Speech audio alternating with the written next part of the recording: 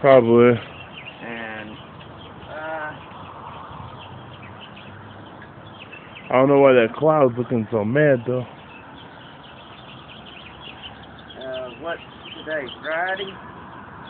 Yeah. Uh, Friday, Saturday, and Sunday. It's supposed to be severe storms. Uh,